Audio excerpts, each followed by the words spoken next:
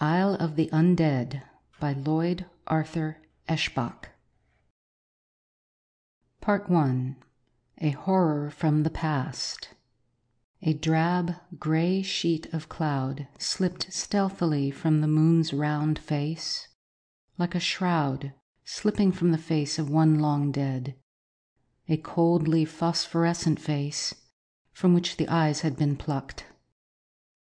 Yellow radiance fell toward a calm, oily sea, seeking a narrow bank of fog lying low on the water, penetrating its somber mass like frozen yellow fingers.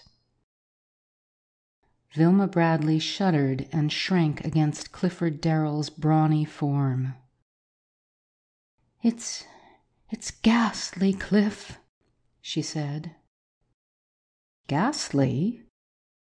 Darrell leaned against the rail, laughing softly. One cocktail too many, that's the answer. It's giving you the jitters. Listen.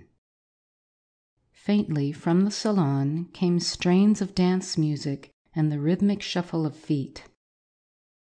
A nifty yacht, a South Sea moon, a radio dance orchestra, dancers, and little Clifford. And you call it ghastly. Almost savagely, his arms tightened about her, and the bantering note left his voice. I'm crazy about you, Vilma. She tried to laugh, but it was an unconvincing sound. It's the moon, Cliff, I guess. I never saw it like that before. Something's going to happen. Something dreadful. I just know it. Oh, be sensible, Vilma. There was a hint of impatience in Cliff's deep voice. A gorgeous girl in his arms, dark haired, dark eyed, made for love. And she talked of dreadful things which were going to happen because the moon looked screwy. She released herself and glanced out over the sea. I know I'm silly, but. Her voice froze and her slender body stiffened. Cliff, look!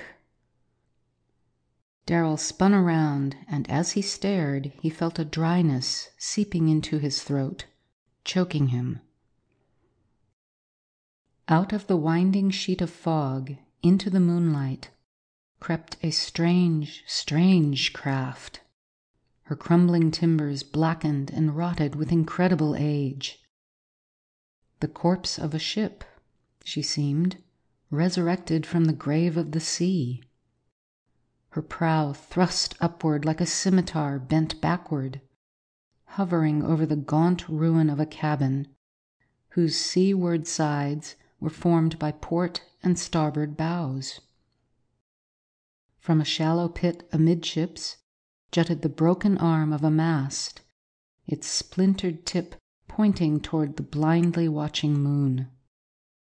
The stern, thickly covered with the mouldering incrustations of age, curved inward above the strange high poop, beneath which lay another cabin. And along either side of her worm eaten freeboard ran a row of apertures like oblong portholes out of these projected great oars, long, unwieldy, as somberly black as the rest of the ancient hulk. Now a sound drifted across the waters. The steady, rhythmic boom, boom, boom of a drum beating time for the rowers. Its hollow thud checked the heart, set it to throbbing in tempo with its own weary pulse. Ghostly fingers, dripping dread, crawled up Darrell's spine. Stiff lipped, Vilma gasped, What? What is it?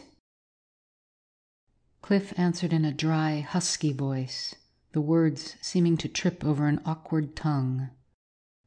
It's. it's. It can't be, damn it.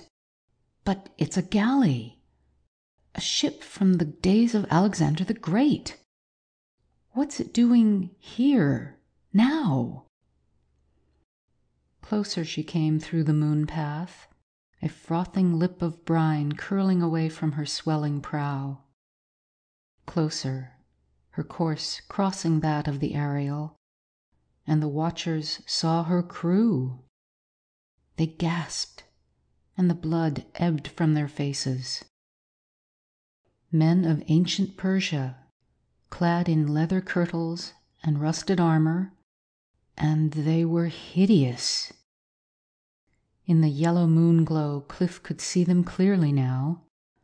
A lookout standing motionless in the stem, the steersman on the poop deck, the drummer squatting beside the broken mast, the rowers in the pit, and all, all were a bloodless white, the skin of their faces puffed and bloated and horribly wrinkled, like flesh that had been under water a long time.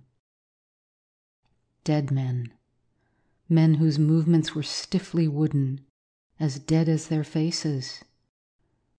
But most horrible was the fact that they were there, that they moved at all. A queer mirage, isn't it? A hollow voice spoke suavely behind them. Vilma gasped at the sudden sound, and they whirled. A foot away stood the tall, lean figure of the Ariel's captain, Leon Corio. A queer smile twisted his thin lips. What's the idea, sneaking up on us? Darrell demanded angrily. He didn't like this man. Hadn't liked him from the moment he had approached Cliff to sell him the yacht.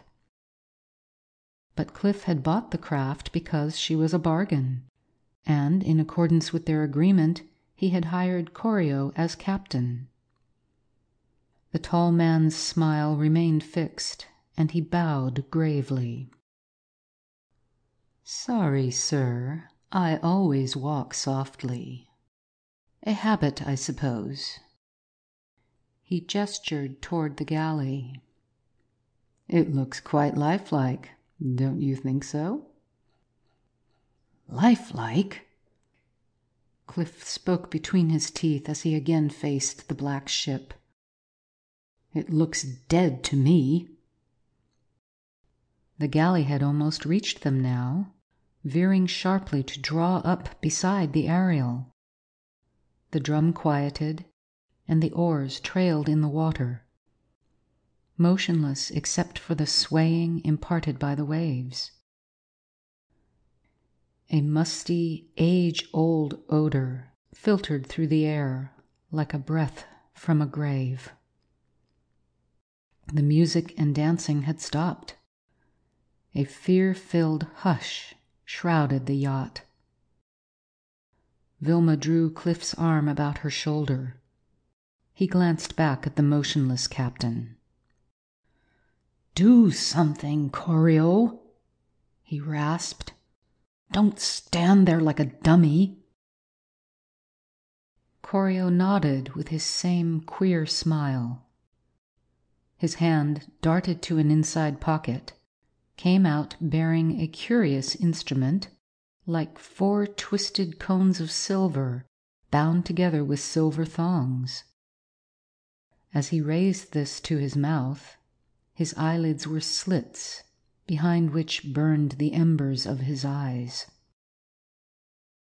Out over the sea crept a single note, deep, hollow, laden with eerie minor wailings, a sound that summoned imperatively, yet a sound that repelled. It was a moan hideous as the moan of a dying demon. It raked the heart with fear tipped claws. It rose and fell and rose again, and as it died, it awakened the crew of the ancient galley to motion, sweeping them in a horde to the rail of the yacht, Cliff swung toward Corio in bursting fury, fury mingled with dread. His fist lashed out at that glittering silver instrument and the face behind it.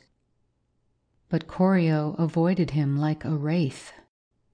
Still smiling fixedly, the horn again at his lips. Cliff cursed and hurled himself through the air. One hand caught a bony shoulder. He felt fingers like hooks close on his own throat. He wrenched free, landing a stunning blow on Corio's face, saw him reel and crash to the deck. And then he heard Vilma scream. He whirled. She was struggling between two of the flabby faced things from the galley. In an instant he was upon them, his fist thudding against icy flesh, burying itself in something horribly soft and yielding. Startled, Cliff swung a second blow, and an arm, tomb cold and strong as the tentacle of an octopus, wrapped itself around him, a vice of thin covered bone. A dead, drowned face peered over his shoulder, staring blankly. Other arms seized his legs, and though he struggled and writhed with the strength of a mounting fear, he was borne to the rail.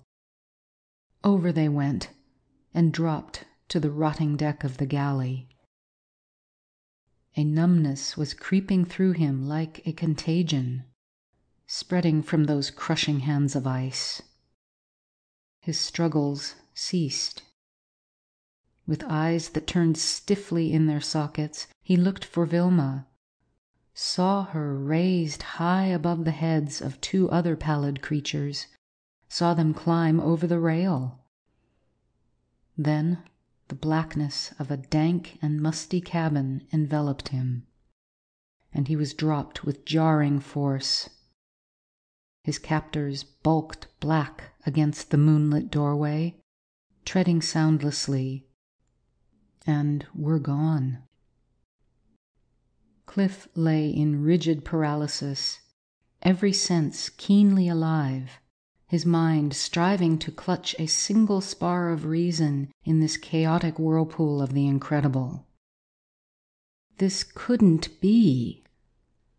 Soon he would awaken to laugh at his absurd nightmare. Yet it seemed horribly real. It was real. From the Ariel boiled a fearful bedlam. Screams of terror, curses. Then other shadows loomed in the doorway, and Vilma, motionless and rigid, was dropped brutally beside him on the spongy floor. Furiously, Cliff struggled against the maddening restraint of paralysis. He couldn't lie here helpless. Vilma needed him. He'd, he'd have to do something. With an effort that studded his forehead with rounded drops of sweat and sent the blood throbbing through the distended veins of his neck, he sought to move. And, like a cord snapping, his invisible bonds fell from him.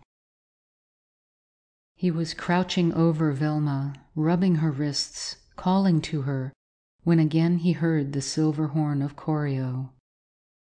A low droning, utterly unlike the note that had awakened the galley's crew.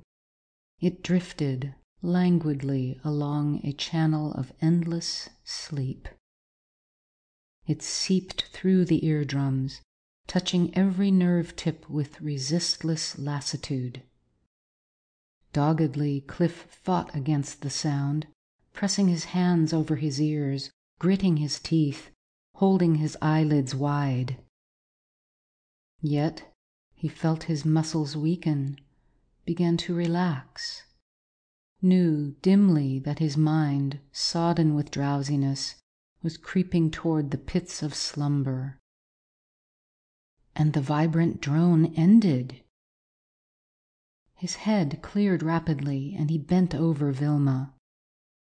As he touched a limp arm, he knew she had passed from paralysis into a deep, quiet sleep. He shook her. It was useless. He listened, heard her steady breathing, and at that instant realized that the noises from the yacht had ceased. Rising, he strode toward the square of chalky moonlight. A foot away, he halted, fell back. He had heard a faint footfall, had seen an armor clad figure climbing over the rail. With silent haste, he flung himself down beside Vilma. And there he lay while the crew of the galley carried his friends from the Ariel, all slumped in that unnatural sleep, and stretched them out on the floor of the black cabin. Unmoving, he watched through narrow lids till all save Corio had been carried aboard and the drowned things had gone back to their places in the rowers' pits. Again, the hollow voice of the drum began throbbing through the silence, and the oars creaked a faint accompaniment. He could feel the galley cleaving the oily sea. On his feet, he peered through the doorway. The backs of the rowers rose and fell with stiff mechanical rhythm. Beyond the galley's stern came the yacht, slinking along like a thief, only one dim light showing, her diesel engines purring almost soundlessly. He turned and bent over Vilma, still in thrall to that strange, deep slumber. As he traced the delicate outlines of her lovely face, now so lifeless and pale, Bitter wrath flared within him, wrath and hatred for Leon Corio.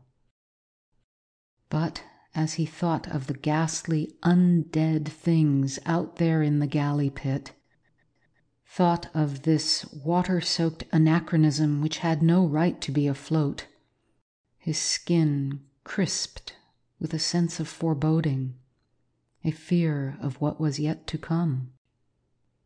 He must do something. Stepping over the still forms of his friends, he moved to the forward wall, where a beam of radiance crept fearfully through a gap between two boards. His hands touched the hull, and he jerked them away. Rotten, clammy, like a decayed corpse, partly frozen, Crouching, he peered through. Far ahead, a blotch of evil blackness squatted on the horizon. An island, crouching low, like a black beast ready to spring. Around it, the moonlight seemed to dim, as though it were striving to hide some nameless horror. Interminably, Cliff watched while the shadowed mass drew closer, closer. They were headed for a towering wall of black basalt, and as the galley neared it, Cliff saw that it bore striking resemblance to a gigantic human skull, its rounded surface broken by caves that the sea had carved into hollow eye sockets and an empty nasal cavity. The rock wall ended high above the water. Beneath it lay a gaping chasm of pitchy darkness. And the galley, drum silenced, oars at rest, slid under the ledge into the mouth of the skull. Just before total blackness fell, Cliff sprang to Vilma's side and raised her in his arms. If he hoped to do anything, he must do it now. He groped his way to the starboard bow and moved one hand along the dank timbers, searching.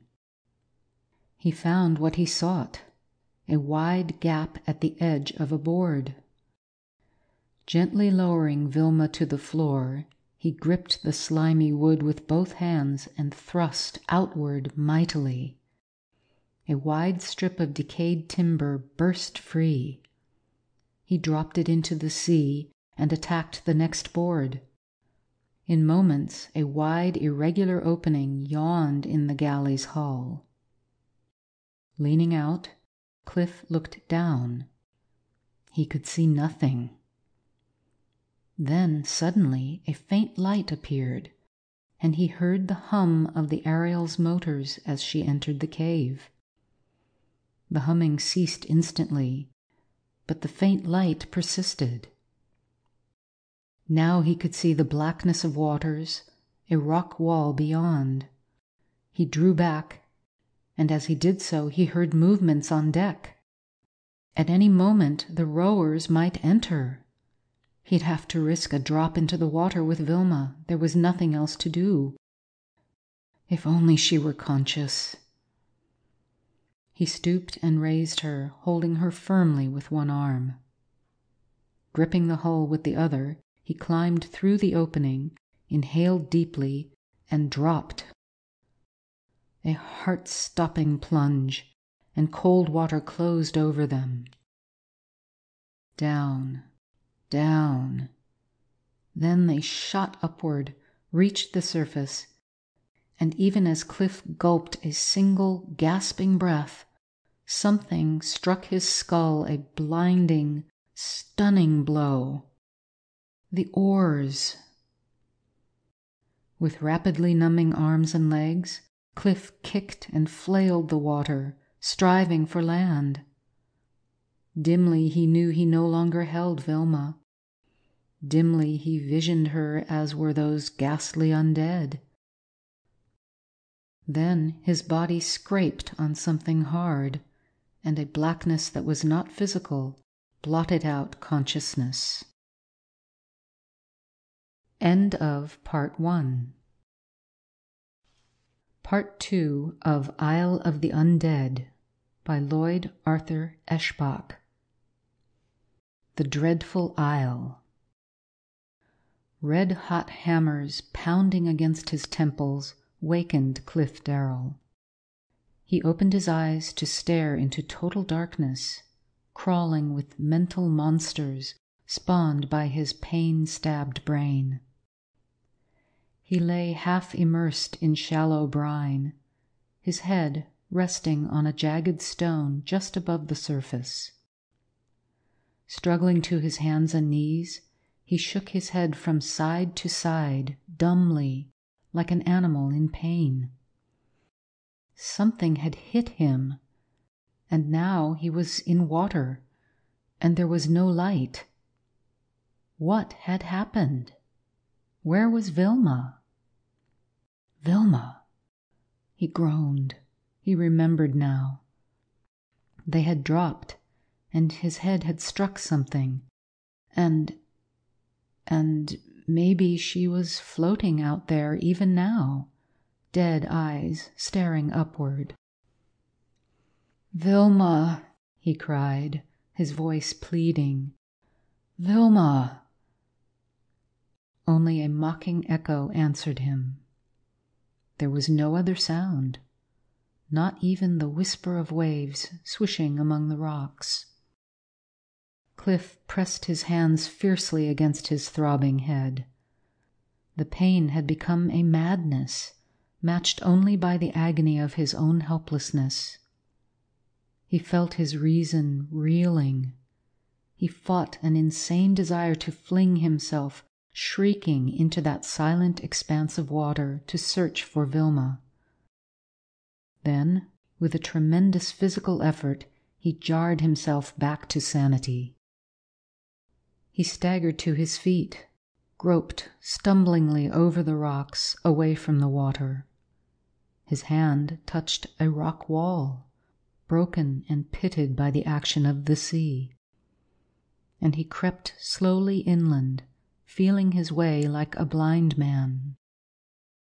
As he plodded on, his thoughts blended into one fixed idea.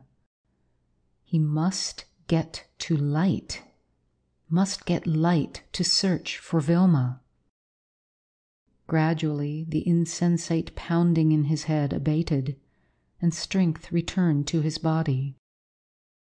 When at last he saw light beyond a narrow fissure around an angle in the cavern, he had almost recovered. In moments, he was gazing out over a plain bathed in the glow of a leprous moon. As he stared, he shivered, and it was not because of the cold draught drawing through the fissure, fanning his brine drenched body. Grim and starkly forbidding, the plain lay before him, dead as the frozen landscape of the moon.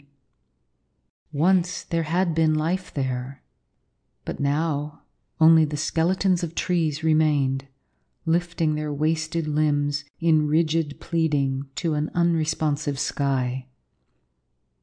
Some there were that had fallen, uprooted by the fury of passing hurricanes.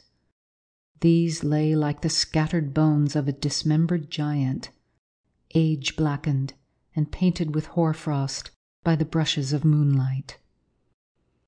Feebly, the dead forest stirred under the touch of a moaning wind, and the gaunt shadows cast by the trees seemed to be multi armed monsters slithering over the rocky earth. He looked beyond the trees and he saw light. Little squares of pale radiance cut high in the walls of an ancient black castle. Castle? Cliff frowned. He could liken it to nothing else, though he could not recall ever having seen a castle which thrust curving, needle thin spires into the sky like a devil's horns. Impatiently, Cliff stepped from the wall of rock and glanced along a path that writhed through the forest. Glanced and crouched swiftly, a low cry escaping him. A single spot of water on a smooth, flat stone. A spot shaped like a woman's shoe. Vilma had passed this way. But might it not have been some other woman from the Ariel? No, they had been carried, and even if they had walked, their feet were dry. Like a hound on the scent, Cliff Darrell sped along the serpentine path. The wind moaned above him, and the soughing branches seemed to whisper croaking warnings. But he ran on, his eyes constantly seeking signs of Vilma's course. Here a drop of water shaken from her drenched skirt, there another, and Cliff blessed the full moon, whose light made possible his trailing of the almost invisible spoor. Now he had passed beyond the dead forest and was moving toward the castle. The trail had been growing steadily fainter, but he managed to follow it. It led him toward a narrow stone stairway, climbing crookedly to a misshapen opening in the wall. Light glowed faintly lurid somewhere deep within. And now Cliff heard a blasphemous sound belch from the depths of the castle, a wheezing, sardonic croaking like the moan of a demoniac organ, rumbling an obscene dirge. His hair bristled and he stopped short. He looked at the steps, searching for the fading trail, and he stiffened. There, on the second step, was an irregular blotch of moisture. What did it mean? Had Vilma crouched there? Had she ascended those steps? Entered? With drawn face, he began to skirt the base of the black building, searching every nook and cranny, scanning the bare walls. His heart lay like ballast in his breast. If, If something had lured Vilma into that demon infested vault, he checked the thought. Suddenly he cursed. Mechanically, he had begun to measure his stride in time with the doleful dirge from the castle. He stalked on with altered pace. As he rounded the corner at the rear of the structure, he saw a shadow outlined against the sky crouching on a ledge below one of the little windows. He looked again and cried, Vilma! The figure above him stirred, looked down, then climbed hastily earthward. It was Vilma. Vilma with black hair hanging stringily about her head, face pale, eyes fixed in the wideness of fear. Vilma with her wet clothing clinging to the lovely contours of her symmetrical body. Oh, Cliff, she gasped, a dry sob choking her. Thank God! Thank God! She clung to him, her face hidden against his shoulder, quivering uncontrollably. Then tears came, saving tears, relieving her pent up emotions. Cliff said nothing, only held her close, strongly protective. And gradually he felt the tempest of terror subside.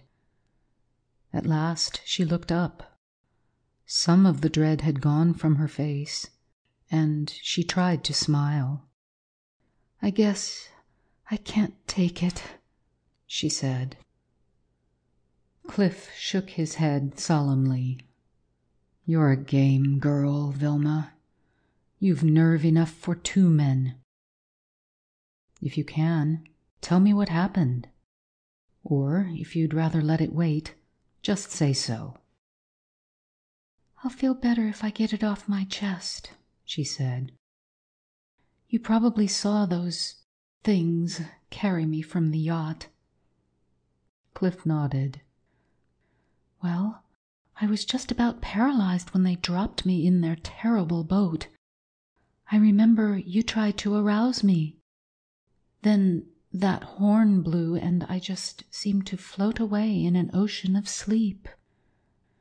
After that, I can remember nothing till I awoke with water filling my eyes and nose and mouth, choking me. Someone's arms were around me. It must have been you, Cliff. And then they weren't there any more, and I struggled wildly, out of my wits. I don't know how I got to shore, but I did, and I lay there in the shadow of the galley, choking and gagging, but afraid to cough.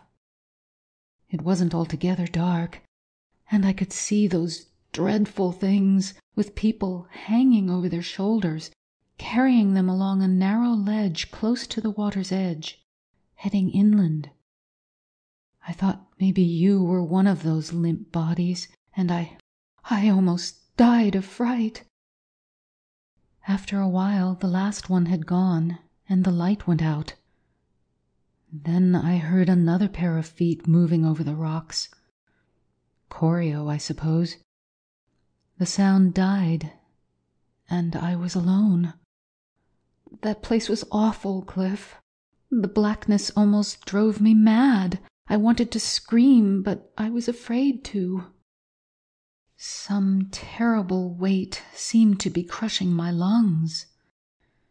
If I followed those undead things, they might capture me. But it seemed worse to stay there in that dreadful dark. I got out of there somehow, though it seemed to take hours. Then I didn't know what to do. I stood at the edge of the dead forest, trying to decide. Trying, too, to keep myself from shrieking and running anywhere. Then Corio's horn blew again.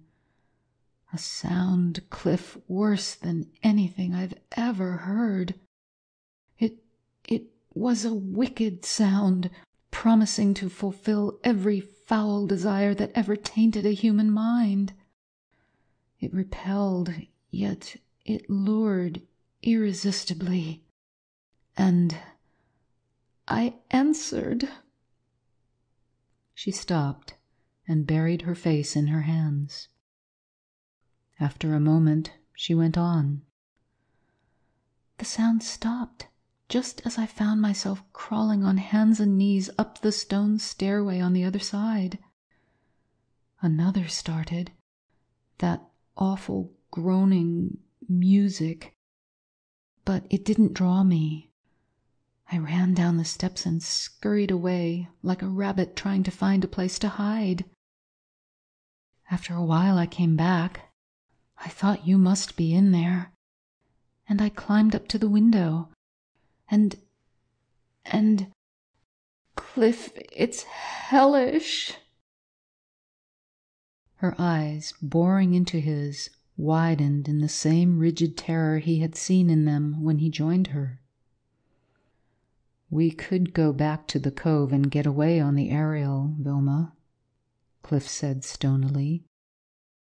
And if you think we should, we will. But I brought our friends here, and, well, I want to get them out if I can. With an effort, Vilma nodded. Of course. We can't do anything else. He released her and stepped up to the wall. I'm going to see what's going on in there, he said. You wait here till I come down. In sudden dread, Vilma seized his arm. No, Cliff, I couldn't stand waiting here alone. I'll go with you. He nodded understandingly, and together they began climbing the precipitous wall, fitting hands and feet in step like crevices that made progress fairly rapid.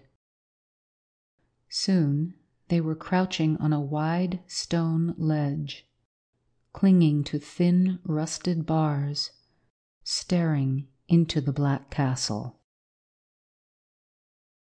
End of Part 2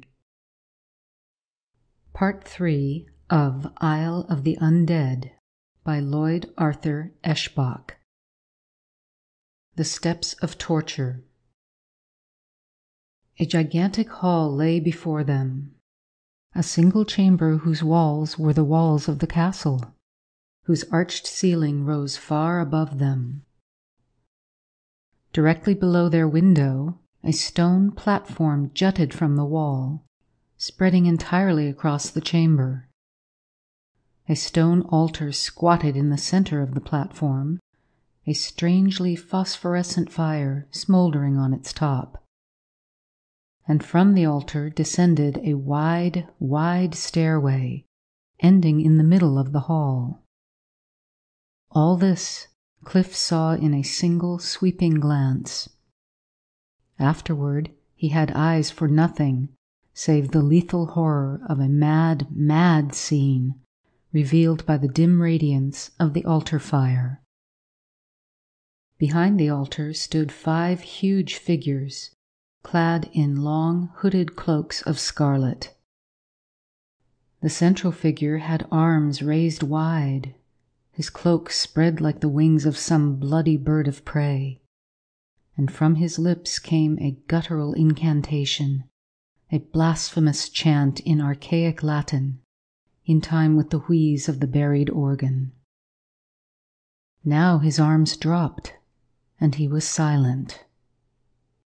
From the room below came a concerted whine of ceremonial devotion, a hollow, hungry wail. It rose from the bloodless lips of strangely assorted human figures, ranging down the center of the long stairway in two facing columns. A hundred or more there must have been, representing half as many periods and countries, according to their strange and ancient costumes men in the armor of medieval Persia, the crew of the Black Galley, yellow haired Vikings, hawk faced Egyptians with leather brown skins, half naked islanders, red sashed pirates from the Spanish Main, men of today. And about all, like the dampness that clings to a tombstone, hovered a cloud of death, the undead. Cliff's gaze roved over the tensely waiting columns, then leapt to the foot of the stairs. There, cowering dumbly like sheep in a slaughter pen, were his friends from the Ariel. All clothing had been stripped from them, and they stood, waiting, in waxen, statuesque stiffness. He saw then that three others lay prone before the stone altar, naked and ominously still. And far down at the very end of the hall stood Leon Corio, draped in a hooded cape of unbroken black, a glint of silver in his hand, his horn of drugging sounds. Now, as though at a silent command, a girl left the group and began to mount the stairs as those motionless three must have mounted. Vivacious Anne, she had been the life of Cliff's yacht party, but now she was changed. Her blanched face was rigid with inexpressible terror, despite the semi stupor which numbed her senses. Her nude body glowed like marble in the dim light. Horribly, her feet began their climb with a little catch step suggested by the moaning chant of that cracked organ note. She reached the first of the undead, and Cliff saw light glint on a knife blade. A crimson gash appeared in the flesh of her thigh, and dead lips touched that wound, drank thirstily. The girl strode on, blood gleaming darkly on the white skin. A second drank of the crimson flow, a third, and the blood ceased gushing forth. Another knife flashed, and lips closed again and again on a redly dripping wound. And the girl, with the unchanging pace of a robot, climbed the stairway to its very top, climbed while fiendish corpses drank her life's blood, climbed to sink down on the altar. One of the red clad figures stooped over her, lifted her, buried long teeth in her throat, and Cliff saw his face. His own face paled and talons of fear raked his brain. Those others on the stairs, they were abhorrent, zombies freed from the grave. But this monster, a vampire vested with the lust and cruelty and power of hell. He lowered her finally, and she sank down, lay still, beside the other three. Another began the hellish climb, a giant of a man with a thickly muscled torso. Cliff knew him instantly, and his heart seemed to stop. Leslie Stark. They had played football together. A brave man, a fighter. He mounted the stairway with the same little catch step, the same plodding stiffness. No resistance, no struggle, only a hell of fear on his face. The marrow melted from Cliff Darrell's bones. What, what could he do against a power that did that to Les Stark? He tried to swallow, but the saliva had dried on his tongue. He wanted to turn to Vilma but he could not wrench his eyes from the frightful spectacle. Up the stone steps Stark strode, and no blade leapt toward him, no thirsty lips closed on his flesh. In an unwavering line, he mounted toward the cowled monster in the center of the dais like a puppet on the end of a string, mounted to pause before the stone altar, to lie on it, head bent back, throat bared. Mercifully, Cliff regained enough control to close his eyes. He opened them at a gasp from Vilma, saw the vampire raise the flaccid body of Les Stark and hurl it far from him, to crash to the stone steps, to roll and thud and tumble down and down sickeningly, to lie awkwardly twisted on the floor before his companions. And another began to climb the long stone steps. All through the interminable night, Cliff and Vilma crouched on the ledge, staring through the barred window. A hundred times they would have fled to escape the maddening scene, but they could not move. Senses reeled before the awful monotony of the ceaseless climbing. Their eyes smarted with fixed staring. Their tongues and throats were parched to desert dryness. Yet only after hours of endless watching, only after the last victim had climbed the steps, did the edge of terror dull, and a modicum of control return to their bodies. Stiffly, Cliff looked over his shoulder. A faint tinge of gray rimmed the sea on the eastern horizon. Almost daylight, he whispered hoarsely. Vilma nodded, her gaze still held by that chamber of horror. Cliff followed the direction of her eyes and saw Corio standing like a great bat in his hooded cape close to the far wall. He raised his four piped horn to his lips, and the instrument's fourth note crept through the room.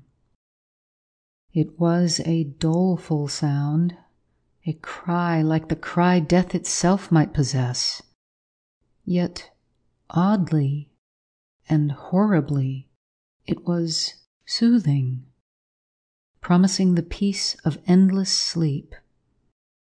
And touched by its power, the columns of undead stiffened, thinned to wraiths, flowed as water flows down the stone steps, vanished. The dead alive, those five vampires in crimson cowls, looked upward uneasily. The shadows under the roof were graying with the light of dawn. Cliff could sense their thought. Before sunrise, they must be in their tombs under the castle, to sleep until another night. With one accord, they strode down the stairs, past Corio, who had prostrated himself, and entered a black opening in the wall. With their departure, the altar fire dimmed to a sullen ember. Corio arose. He was alone in the chamber, save for that dead, broken body lying in a twisted heap at the foot of the stairs, and those other half alive wretches stretched out before the altar. Now, Cliff told himself, was the time for him to get in there at Corio. Now was the time to rescue his friends. But he continued to crouch, unmoving. Again, Corio blew on his silver horn, and a faint cry leapt from Vilma's tensed lips.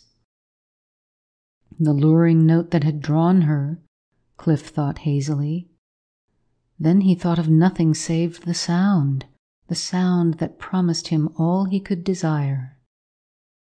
Earth and its dominion, his for the taking, if he answered that call. Then even the sound eluded his senses, and he heard only the promise. He must answer, must claim what was rightfully his. But those half dead creatures, the The sight of their stirring steadied his staggering sanity. Here and there heads lifted, and bloodless husks of bodies tried to rise. In the pallid light, they seemed like corpses, freed from newly opened graves. Some could only reach their knees, others rose to uncertain limbs, and all moved down the stairway toward Corio, answering his summons followed as he made his slow way toward the opening in the wall, still blowing the single note, the note that promised earth and all it held. Cliff glanced toward Vilma, and she was not there. He looked down, saw her far below, dropping from crack to crevice with amazing speed and daring, hastening toward Corio. The thought jarred any lingering taint of allurement from Cliff's mind. He must stop her. He swung around, ignoring the cramped stiffness of his legs, and started down the steep wall.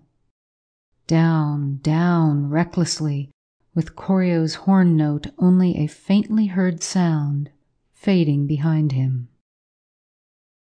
Now he saw Vilma reach the rocks below and dash around the corner of the castle, and he cursed, redoubling his speed. Down, down. And suddenly the ancient rock crumbled underfoot. For an instant he hung from straining fingertips, then dropped. A smashing impact, a stone that slid beneath him, and his head crashed against the castle wall. Through a fiery mist of pain, he pictured Vilma in the grasp of Corio. The mist thickened, grew black, engulfed him. End of Part 3 Part 4 of Isle of the Undead by Lloyd Arthur Eshbach in Corio's hands. Cliff awoke with the sun glaring down on his face. He opened his eyes, and stabbing lances of light pierced his eyeballs. Momentarily blinded, he pressed his hands across his face and struggled erect. There was a sick feeling in his stomach, and the back of his head throbbed incessantly. He touched the aching area and winced. A lump, like an egg, thrust out his scalp. It was sticky with blood. He stood there, weaving from side to side, trying to recall something. As memory came, he groaned. Vilma. He had last seen her racing madly toward Corio, lured by his damned horn. It was daylight now. The sun had risen at least an hour ago. An hour with Vilma gone. Shaking his head to clear it, and gritting his teeth at the pain, he stalked along the wall. Turning the corner, he strode on toward the crooked steps. The lifeless terrain reeled dizzily, but he went on resolutely. The pain in his head was fading to a dull ache, and as he mounted the steps, strength seemed to flow back into his legs. With every sense taut, he passed into the gloom of the castle. A quick glance he cast about, saw the body of Stark lying where it had fallen. No use to examine it, there was no life there. His gaze swept up the slope of the stairway to the altar at its head, lingered on the phosphorescent eye of light still glowing there. Then he shrugged grimly and moved on to the doorway in the wall. Warily, he peered in. As his eyes adjusted themselves to the greater darkness, he saw a narrow stairway leading downward into a shadowy corridor. Somewhere in the tunnel's depths, a faint light shone. He could see nothing more. He moved stealthily down the damp, dank stairs. At the bottom, he paused, listening. He could hear nothing. A hundred feet ahead, the corridor divided in two. A burning torch was thrust in the wall at the junction. Cliff nodded with satisfaction. Corio must be somewhere nearby, for only a human needed light. Silently, Cliff strode along the corridor. At the fork, he hesitated, then chose the right branch, for light glowed faintly along that passageway. The other led downward, black as the pits of hell. A doorway appeared in the wall ahead, and he moved warily, with fists clenched. Flickering torchlight filtered into the corridor. There was no audible sound. Now Cliff peered into a small chamber and gasped in sudden horror, his eyes staring unwinkingly at a spectacle incredibly pitiful. Here were the passengers of the Ariel, whitely naked and lying in little groups on the cold stone floor, huddled together for warmth.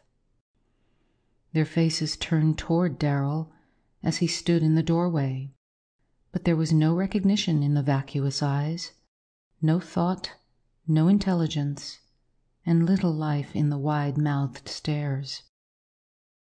It seemed as though their souls had been drained from their bodies with their blood. Sickened, Cliff turned away, cursing his own helplessness to aid them, cursing Leon Corio, who was responsible for their plight. Black wrath gripped him as he moved on. Again the corridor branched, and again he kept to the right. Suddenly he halted, ears straining. He heard the sound of a voice, the hollow voice of Corio.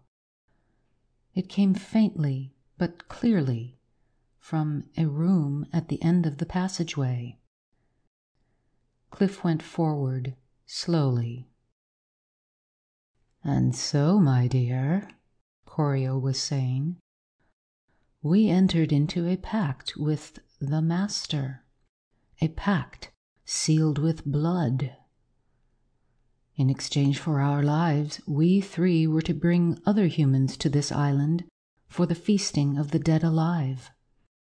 Every third month, each of us must return with our cargo when the moon is full. And since we come back on alternating months, they have a constant supply of fresh blood. Usually, some of our captives live from full moon to full moon before they become like those of the galley, the undead. Some of these we waken when it suits our fancy. They are not like the masters. They awaken only when we call them, we three or the masters. More than life they give us for what we do. Centuries ago, pirates used this island for refuge. They died, and they left their treasure in this castle. It lies in the room where the masters lie, and we three receive payment in gold and gems. Tonight I receive my pay, and tomorrow I leave on the Ariel, and you go with me. Cliff heard Vilma answer, and even while his heart leapt with relief, he marveled at the cool scorn in her voice. So I go with you, do I? I'd rather climb the stairs with the rest of your victims than have anything to do with you. You monster! when Cliff Darrell finds you. Darrell? Corio's voice was a frozen sneer. He'll do nothing. I'll find him, and he'll wish he could climb the stairs of blood. As for you, you'll go with me and like it. A drop of my blood in your veins, and you will belong to the Master, as do I. We shall attend to that. But first, there is something else, more pleasant. His words fell to an indistinguishable purr. Still moving stealthily, Cliff hastened forward. Suddenly, Vilma screamed, and he launched himself madly across the remaining distance, stood crouching at the threshold. Vilma lay on an ancient bed, her wrists and ankles bound with leather thongs drawn about the four tall bedposts. Only the torn remnants of her undergarments covered the rounded contours of her body, and Corio crouched over her, caressing the pink flesh. Vilma writhed beneath his touch. Cliff growled deep in his throat as he sprang. Corio spun around and leapt aside, but he was too slow to escape Cliff's powerful lunge. One hand closed on his thin neck, and the other, a rock like fist, made a bloody ruin of his mouth. Howling with pain, Corio tried to sink his teeth in Cliff's arm. Cliff flung him aside, following with the easy glide of a boxer. Corio crawled to his feet, cringing, dodging before the nemesis that stalked him. Again Cliff leapt, and Corio, yellow with fear, darted around the bed and ran wildly into the hallway. At the door, Cliff checked himself, reason holding him. Corio could elude him with ease in this labyrinth of passages, and his first concern was Vilma's safety.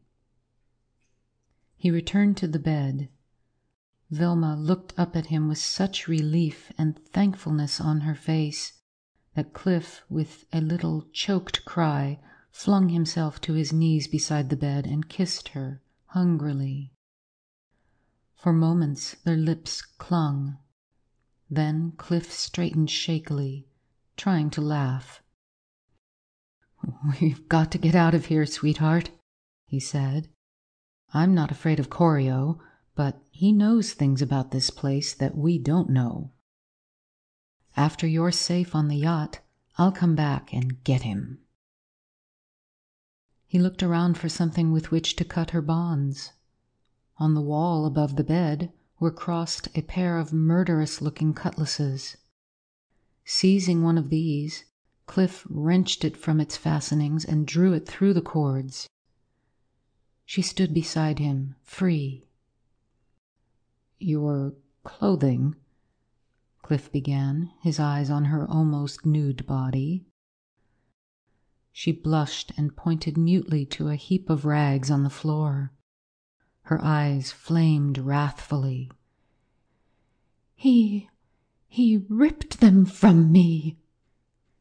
The muscles of Cliff's jaws knotted, and he scowled as he surveyed the room for a drape or hanging to cover her. For the first time, he really saw the place. All the lavish splendor of royalty had been expended on this chamber. It might have been the bedroom of a king except that the ancient furnishings belonged to no particular period, were, in fact, the loot of raids extended over centuries. Yet, despite its splendor, everything was repulsive, cloaked with the same air of unearthly gloom that hovered about the galley. He moved toward an intricately woven tapestry, but Vilma checked him shuddering with revulsion. No, Cliff, it's too much like grave clothes. Everything about this place makes my flesh crawl. I'd rather stay as I am than touch any of it. Cliff nodded slowly. Let's go then. They hurried through the corridors toward the stairway, with Cliff holding the cutlass in readiness. As they passed the room in which lay the Ariel's passengers, he tried to divert Vilma's attention, but she looked in as though hypnotized. I saw them before, she whispered. It's awful. As they started up the stairway to the great hall, Cliff took the lead. He moved with utmost caution. It doesn't seem right, he said uneasily. We should hear from Corio. At that moment, they did hear from him, literally. From somewhere in the maze of tunnels came the sound of his accursed horn, the note of sleep. It swirled insidiously about their heads, numbing their senses.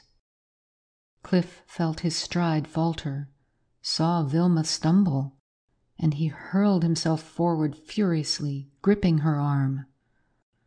Hurry, he shouted, striving to pierce the fog of sleep. We've got to get out. Damn him. Vilma rallied for an instant, and they reached the top of the stairs. On, across that wide, wide room, each step a struggle. On, while the droning sound floated languidly through every nerve cell on till their muscles could no longer move and they sagged to the hard stone, asleep. Moments later, Cliff opened his eyes to meet the hellish glare of Leon Corio. Corio smiled thinly. So, you awaken. Good. I would have you know the fate I have planned for you. You see this? He held the cutlass high above Darrell's throat, like the blade of a guillotine.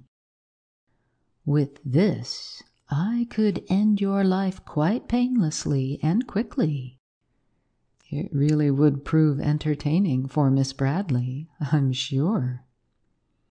He chuckled faintly behind bruised and swollen lips. Cliff squirmed, striving to rise, then subsided instantly. He was bound hand and foot. I could kill you, Corio repeated musingly, but that would lack finesse. His teeth bared in a feline smile and it would be such a waste of blood. Instead, I'll take you out to the galley and let you lie there till her crew awakens tonight. They have tasted blood, and after tonight will taste none again for another month. I imagine they'll drain you dry. The last phrase was a vicious snarl. Cliff heard Vilma utter a suppressed sob, and he turned his head. She lay close by, bound like him with strips of leather. Furiously, Cliff strained at his fetters, but they held. And while you wait for those gentle Persians to awaken, Corio continued in tones caressingly soft, you can think of your sweetheart in my arms. It may teach you not to strike your betters, though you can never profit by your lesson. Stooping, he raised Cliff's powerful form and managed to fling him over one shoulder. Then he moved from the great hall, down the stone steps, and across the dead plain with its sighing skeleton trees. He was panting jerkily by the time he came to the fissure leading to the cove, but he reached it despite Cliff's two hundred pounds. Without pausing, he went on into the cavern, along the rock ledge, to step at last upon the deck of the black galley.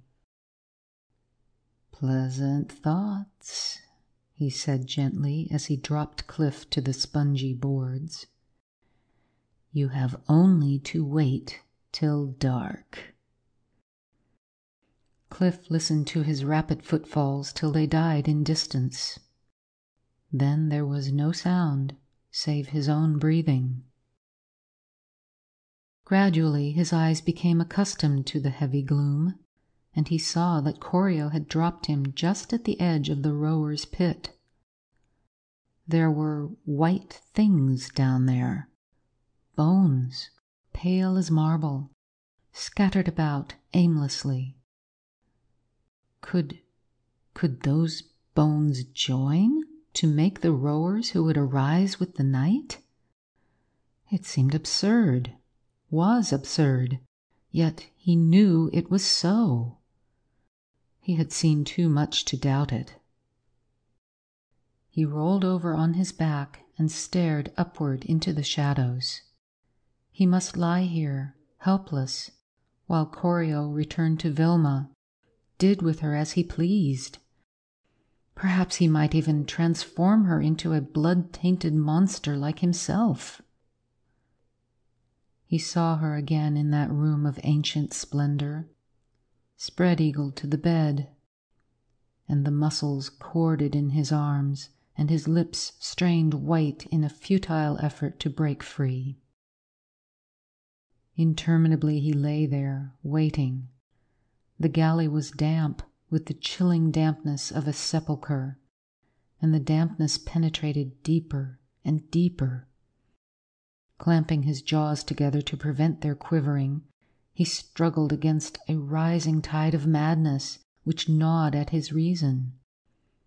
His mind began to crunch and jangle like a machine out of gear, threatening to destroy itself. On and on, in plodding indifference, the stolid moments passed, till at last Cliff realized that it was growing darker. He rolled over on his side and stared into the galley pit, eyes fixed on the inert masses of white. Soon they would move. Soon the undead would rise. His thoughts, touched by the whips of dread, sped about like slaves seeking escape from a torture pit. And abruptly, out of the welter of chaotic ideas, came one straw of sanity. He seized it, his heart hammering with hope. Those Persian sailors were armed. Their swords and knives were real, for they cut flesh. Somewhere among their bones must lie sharp edged blades. He struggled to the edge of the pit, let his feet drop over. As they touched, he balanced precariously for an instant, then fell to his knees. He peered feverishly about among white bones, mouldering garments, and rusted armor, and saw a faint glimmer of light on pointed steel. He sank forward on his face in the direction of the gleam, turned over, squirmed and writhed till he felt the cold blade against his hands. He caught it between his fingers and began sawing back and forth. It was heartbreaking work. Age had dulled the weapon, and long slivers of rust flaked off. But the leather which bound him was also ancient. Though progress was slow and the effort laborious, Cliff knew his bonds were weakening. But it was growing darker. Even now he could see only a suggestion of gray among the shadows. If those undead things materialized while he lay among them, Sweat stood out on his forehead, and he redoubled his efforts, straining at the leather as he sawed. With a snap, the cords parted, and his hands were free. A single slash severed the thongs about his ankles, and he stood up, leapt to the deck. Not an instant too soon. There was movement in the pit, a hideous crawling of bones, assembling themselves into skeletal form. Cliff waited to see no more. There were limits to what one could see and remain sane. With a bound, he crossed the rotting deck and sprang ashore.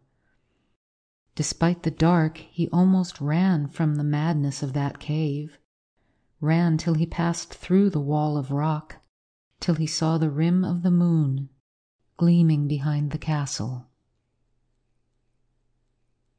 End of Part 4 Part 5 of Isle of the Undead by Lloyd Arthur Eshbach. The End of the Island. Out on the plain, he sprinted through the ghostly forest. He knew he had no time to spare, knew that soon the march of torture would begin, knew that if Vilma were within the castle, she must answer the summons of Corio's horn. Even now, light glowed faintly in the high, square windows. That horn! At the foot of the steps, he stopped short. If he heard the horn, he too must answer. He dared not risk it. With impatient fingers, he tore a strip of cloth from his shirt rolled it into a cylinder, and thrust it into his ear. Another for the other ear, and he darted up into the castle. A sweeping glance revealed no one, only the murky glow of the altar fire and the wraiths of smoke pluming upward toward the shadowed roof. Wishing now that he had brought a weapon from the galley, Cliff crossed to the opening in the wall. He stood at the top of the steps, listening, then cursed silently as he remembered that he could hear none but very loud sounds. He saw nothing, so he hastened down into the corridor. His steps were swiftly stealthy as he moved toward Corio's room. He was past the first branching passage when a sixth sense warned him of someone's approach. He ran swiftly to the next fork, then paused within its shelter and glanced back. Saw five red cowled figures glide along the tunnel and vanish up the stairway. Cliff frowned. With the vampires in the great hall, Corio must soon follow, leading his victims to the blood feast. He drew back deeper into the shadows. His groping hands touched something in the dark, round and hard, like a keg. Curiously, he investigated. It was a keg, and there were others. A sandy powder trailed to the floor from a crack in one of them. Thoughtfully, Cliff let it run through his fingers. Gunpowder. Of course. He had heard Corio mention pirates and their treasure, and this had been their cache of explosive. An idea was forming. He looked up to see a shadow pass the mouth of the tunnel. He crept forward and peered out. He saw the black hooded figure of Leon Corio striding along, saw him enter the room where the passengers of the Ariel lay. In a breath, Cliff was down the corridor to Corio's room. A tarnished silver candelabrum shed faint light through the chamber, and by its flickering glow he searched for Vilma, thoroughly, painstakingly, futilely. He stood in the center of the room in indecision, his forehead creased with anxiety. If only he could find her, he'd know how to plan. He ran his hand through his hair helplessly, then heard, very faintly, the luring note of Corio's horn. She must answer that summons, unless Corio had her tied somewhere. His best chance of finding her lay in the hall above. On the wall still hung the mate of the cutlass he had used to free Vilma. He wrenched it down and ran out into the corridor. The last of the naked marchers was disappearing up the stairway. Now the horn note died, and he could feel, more than hear, the rumbling bass of the dirge from the depths below him. He ran the rest of the distance along the passageway and mounted the steps, two at a stride. He looked into the torture hall. As on the previous night, Corio stood far back, close to the wall in which Cliff crouched. The arms of the master were raised high, raised, Cliff knew, though he could not hear it, in a blasphemous incantation. And then he saw something that sent a crimson lance of fury crashing through his brain. Vilma, stripped like the rest, stood with the other victims at the foot of the long steps. Her body gleamed pinkly in contrast to the pallid drabness of the half dead automatons, and she held her head proudly erect. But from where he stood, Cliff could see the side of her face, and it bore a look of terror. He could see Corio's face, too, and he was looking at the girl, baffled fury glaring from his eyes as though she were there against his will. Cliff's first impulse was to fling himself out there with his cutlass and hack a way to freedom for Vilma and himself. But cold reason checked this folly. Such a course could end only in death. Motionless, he watched the scene before him his brain frantically seeking a plan with even a ghost of a chance of succeeding. The gunpowder!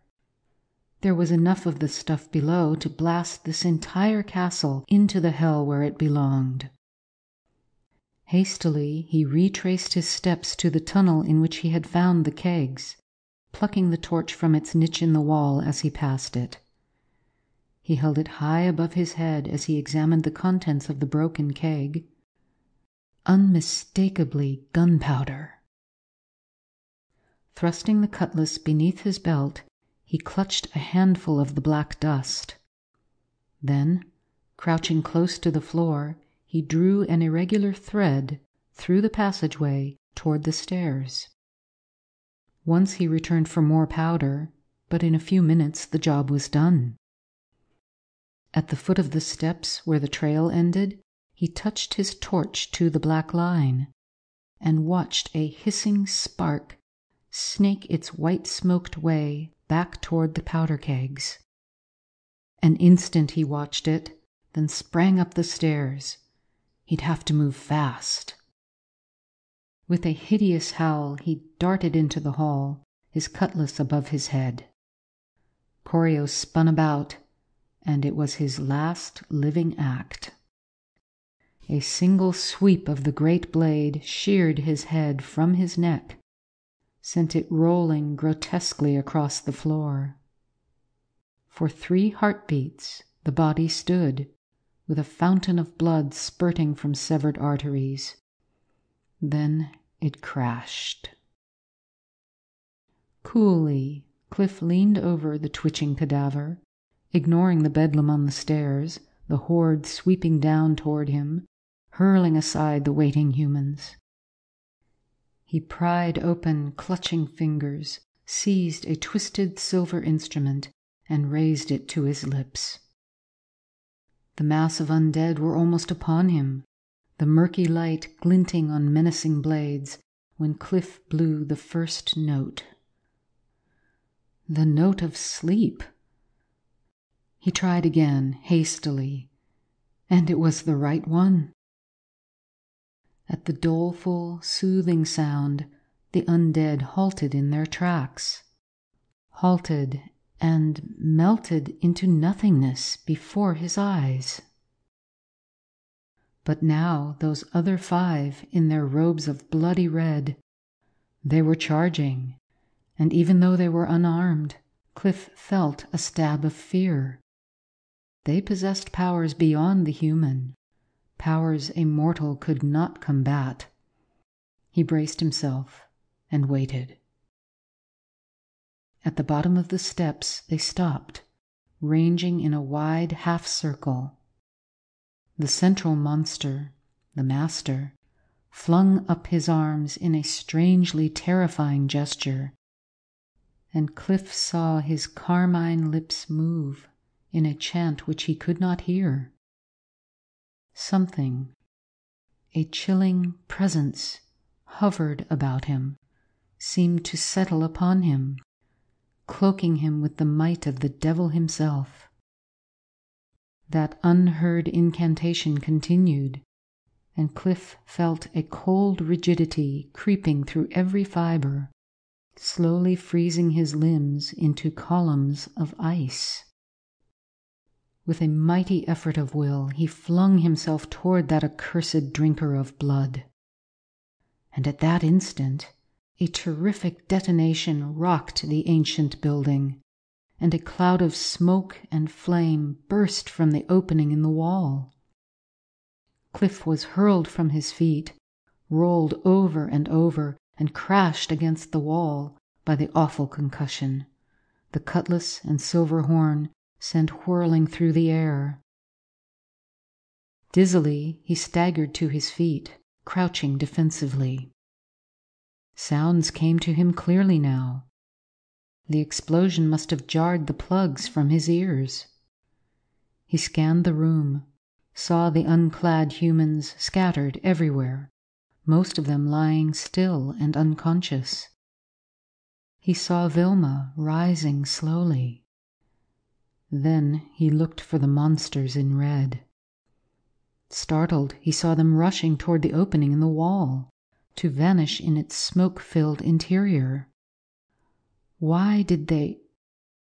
Then he knew. Down there, somewhere, were their graves. Graves rent and broken by the explosion, graves threatened by the flames. And panic had seized the vampires, fear of the death which would result with exile from their tombs. Unsteadily, Cliff crossed to Vilma. She saw him coming and flung herself sobbing into his arms. He crushed her lithe form close. And another explosion, more violent than the first, sent a section of the stone floor leaping upward as though with life of its own. Clinging to Vilma, Cliff managed to maintain his footing, though the floor bucked and heaved a snapping, booming roar, and a great chasm opened in the floor. A breathless instant, and a segment of the stone stairs, rumbling thunderously, dropped out of sight into a newly formed pit. With it went the blasphemous altar and its phosphorescent fire. Deafened, stunned, momentarily powerless to move, Cliff's mind groped for an explanation. It seemed incredible that gunpowder could cause such havoc. And the swaying of the floor continued. The thick stone walls shook alarmingly. Suddenly he understood. An earthquake. The explosions had jarred the none too stable understrata of rock into spasmodic motion that must grind everything to bits. The island was doomed, and Earth would be better without it. If only they could reach the Ariel first. New strength flowed through him, and, hugging Vilma close, he staggered toward the spot where he knew the door must be. Somehow he reached it and reeled down the broken stone steps. The plain of dead trees swayed like the deck of a ship in a storm as Cliff started across it. A gale had arisen and swept in from the sea, ripping dry branches from the skeleton growths and whirling them about like straws. Yet somehow Cliff reached the crevice in the rock wall with his burden, reached the deck of the galley, crossed it, and won to the safety of the Ariel. Minutes later, with diesel engines purring, they crept out through the narrow channel into the open sea. Ten minutes later, the Isle of the Undead lay safely behind them. Vilma had dressed, and now they sat together in the pilot house. Cliff had one arm about her and one hand on the wheel. And so, the girl was saying, while Corio carried you to that terrible old boat, I got loose. He hadn't tied me very tightly, and I slipped my hands free. I had to hide, and I could think of only one place that might be safe, where he wouldn't think to look for me. I ran down to the room where those those others lay. I undressed and buried myself among them. It was horrible, the way they sucked each other's wounds. Cliff pressed a hand across her lips. Forget that, he said, almost fiercely. Forget all of it. Do you hear? She looked up at him and said simply, I'll try. They glanced back toward the black blotch on the horizon. The seismic disturbances continued unabated. At that moment, they saw the barrier of rock, like a skull, split and sink into the sea. Beyond, cleansing tongues of flame licked the sky.